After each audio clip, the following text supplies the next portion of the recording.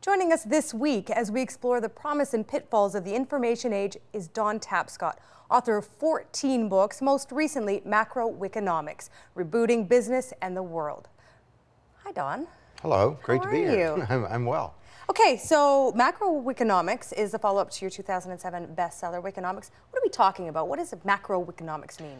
Well, a wiki is just a bit of software that enables a lot of people to co-edit a document, but it's become a metaphor for collaboration, and collaboration that can occur on an astronomical scale. So Wikinomics was about the art and science of harnessing this power of mass collaboration. And we argued that the internet is not about eyeballs, stickiness, pages, clicks, dot coms, or anything like that. It's a, it's a global platform that radically drops collaboration costs, and that's changing the corporation. Now, macro Wikinomics is arguing that it's not just the corporation that's changing, that every institution in society is going through a profound transformation right now, and that we're entering a whole new age. The industrial age has finally run out of gas. Well, I want to talk about the industrial age and the shift to that from for thousands of years in an agrarian society. That was such a fundamental shift, the change from agrarian to industrial. What lessons can we take from that shift that relate to us now? Well, that's actually a good place to start. Uh, it's not in 1991 or 82 or something like this. You need to go back a few hundred years. And back then, all around the world, we had agrarian societies, and the, and the political and economic system was called feudalism. And knowledge was concentrated in a tiny oligopoly. People just, they didn't know about things. There was no concept of progress. You were born and you died. But Johannes Gutenberg came along with this great invention, the printing press. And over time, people began to acquire knowledge. And when they did, the institutions of agrarian society started to appear to be stalled or frozen or in atrophy or, or inadequate or failing. It, it didn't make sense for the church to be responsible for medicine, for example. It didn't make sense for a bunch of kings and nobles to be running everything. So we saw the rise of parliamentary democracy, the Protestant Reformation. Martin Luther called the printing press God's highest act of grace. We saw the creation of the, the corporation, the University of Science, and eventually the Industrial Revolution. And it was all good. It advanced our, our standard of living around the world. And now is this as big a shift? I mean, that was paradigmatic. It was. use a very big word. Uh, is this as big, the shift now to the digital age? Well, I think it is. That we're to see change, a turning point in history here, that, that once again the technology genie is out of the bottle. Only this time it's very different than the printing press. See, the printing press gave us access to the written word. The internet enables each of us to be a publisher. The, printernet, uh, the printing press gave us access to recorded knowledge. The internet gives us access to the, the, not just the knowledge, but the intelligence contained in the crania of other people around the world, real time on a global basis. And, and, and this is taking us into a new age. It's not an information age, it's an age of networked intelligence. And collaboration is fundamentally changing every institution in society. Give me some examples of practical examples of what's changing. Well, if you look around, you see all these institutions today that are in various stages of being stalled or failing or in atrophy, contrasted with these sparkling new initiatives that show the contours of a whole new model. Like what? Well, take something like newspapers. 70 have gone bankrupt in the United States in the last decade.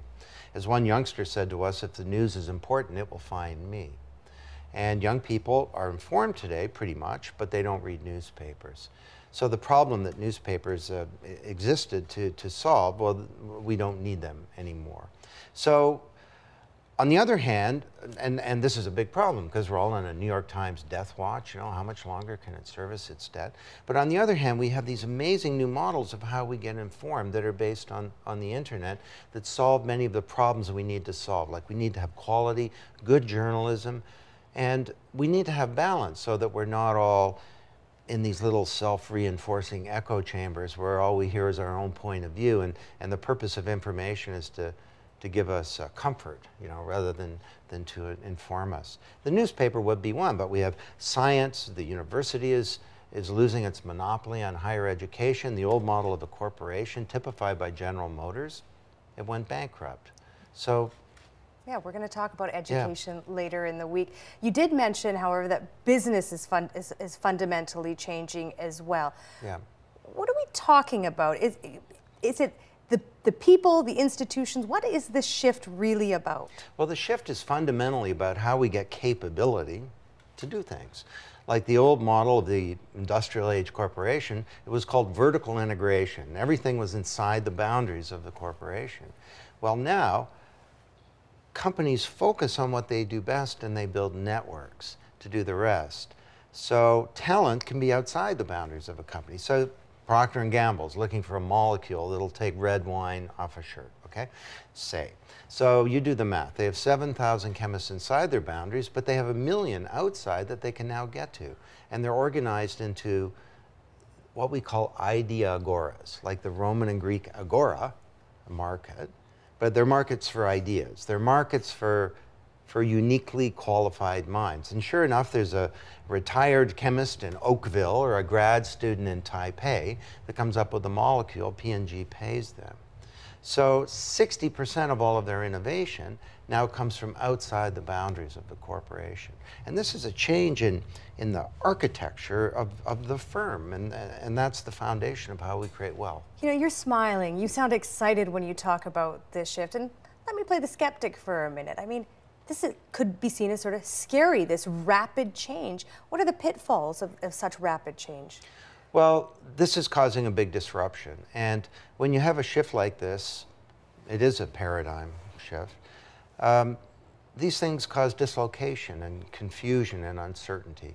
And they're nearly always received with uh, coolness or, or worse, mockery, hostility, and vested interests fight against change. And there's a lot that we don't know exactly how this is all going to unfold. But many people say we don't know anything. I don't think that's true. In Macrowikinomics, we describe the shape and the contours of a new model of science or a new model of a, uh, what our, our transportation systems uh, could look like and so on. But the, the big problem and the biggest danger here is that leaders of old paradigms have great difficulty embracing the new and they're resisting this change. And companies that are doing that are tending to fall behind and eventually they will they will fail as well. Is this um, you know those who don't choose to change will be forced to change, or do they lose out in the grand scheme of things? Well, both happens. I think that uh, right now you can look at uh, companies that are struggling because they've held traditional uh, models. Uh, you take something like the financial services industry, uh, for example. Now in Canada, it's, it's pretty good, and it turns out that we have a good regulatory environment that helped a lot. But you know, Wall Street today, basically, their their core behavior and their sort of operating model almost brought down the global capitalist system, and nothing has changed fundamentally. So that risk is still there. So this is a big problem, not just for, for the banking industry, but for everybody. Another area that you argue needs fundamental change is politics. That the mm-hmm. politics mm -hmm. of old isn't really relative anymore. We just came through a federal election this year and going into a provincial one in the fall. As you see it, what needs to change in the political landscape? Well, we have an old model of democracy. It's sort of called mass democracy, and it's it came out of the industrial age. It was a big step forward than what we had before, kings and nobles, uh, deciding everything. But we have mass production, mass distribution, mass media, mass education. You know, I'm a teacher, I have knowledge, you're a student, you don't. And the model of democracy is, you know, I'm a politician, listen to this 30 second negative ad and, and then you go vote for me and then I'm going to broadcast to you for four years. But you're, you're a citizen as an audience. You know, you're a passive recipient of democracy. Well, you know, the, we created these representative institutions, but there was a weak public mandate and, and inert citizenry. We can now move to a, a new kind of democracy that's based on a culture of public deliberation and of active citizenship. I think most people would think of the change sort of starting with the Obama campaign of 2008 and sort of that yeah. embracing and harnessing that civic engagement. Is that the kind of stuff you're talking about that we need to see the shift going well, towards? Well, Obama changed the way you get elected, although I'm incredulous that three years later we have a Canadian election and not one of the political parties paid attention to that. I mean, it's like they had their head in the sands or something. Their web presence was websites. Here's or Twitter Well, that was very limited what they did. It was mainly like, come to our website, learn about our policy, here's how you give money, and here's how you get involved. I'll, I'll tell you what happened with Obama that kind of woke me up. Someone sent me an email one day saying, you know this guy Obama, he thinks your book, Wikinomics, is the key to winning the presidency and changing America. Go to mybarackobama.com. So I went there, there's my book right cool. on the screen. Yeah. And we believe in the principles of the internet and collaboration. The book Wikinomics, and he's saying, I'm asking you to believe not just in my ability to bring about real change in Washington, I'm asking you to believe in yours. And, and I looked at the, well, my first reaction was, I am the man. but it turns out I'm not the man, you see, because I went and I started looking around and there was a Wikinomics community, but there was also a single moms for daycare for Obama. And there was a New Yorkers for Obama and a young firefighters for Obama. He created a platform whereby 35,000 communities self-organized, and that's what brought him to power. Three years later, all of our political parties ignored this. And what happened was that young people just self-organized by themselves out of the control of the parties. And the NDP was the big beneficiary of that because young people tend to be more le left wing. We have about five minutes left. I want to yeah. talk to you about something that you bring up when you do presentation things, and it's about the starlings in England doing something called yeah. murmuration, which is a beautiful sight in yeah. itself. But you apply that uh, that image when what they're doing to Macrowikinomics. Explain the parallel there. Well, towards the end of the research for the book, uh, Anthony and I started wondering what would an age of networked intelligence look like? And we'd studied lots of human examples. We wondered, can nature tell us something? And we looked at, uh, at uh, bees that come in swarms and fish come in, in uh, schools and sheep come in flocks. Well, starlings come in something called a murmuration.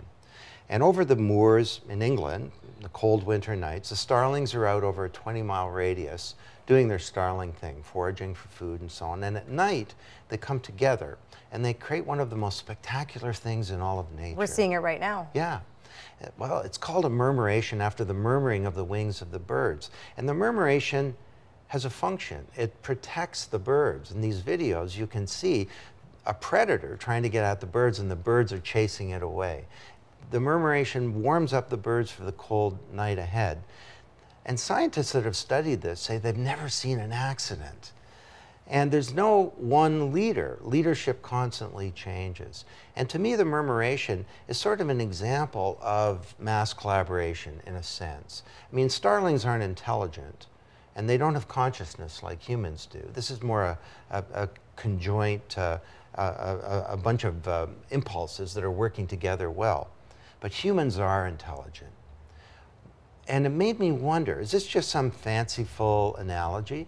Or could we, in fact, by hooking up our brains through these vast networks of glass and air, could we go beyond just sharing information and knowledge to create some kind of intelligence or even consciousness that transcends a, an individual, a group, a, an organization, a community, even out to society? And the murmuration functions according to the principles of, of Macrowikinomics. There's collaboration, there's a sharing of information, even about food sources. There's, there's an openness, and there's a sort of interdependence, like we should have in the, in the human world. I mean, if there's one thing this crisis tells us, it's that business can't succeed in a world that's failing. And there's kind of an integrity that the birds understand that through their collective strength, that they can defend themselves. And I look at this murmuration, and I think of those kids today in the streets of, uh, uh, uh, of the Arab world that are taking a risk, that are, but they understand that they have collective power by working together. They know that if they give up, the old regime will hunt them down and will kill them in many of these countries. And so they, they need to combine their intelligence and their strength together, and they're using the internet and social media to do that. I get a lot of hope when I, when I look at this video I, that, that this smaller world our kids inherit may actually be a better one. We are going to talk a lot more about the kids of today here at home and abroad in the next few days. Thanks a lot, Don. My pleasure. Don Tapscott is the author of Macrowikinomics and several other books. Tomorrow, we're going to continue our conversation with Don and look at the net generation. Those are the kids who have grown up digital and how it's affecting how they live and work.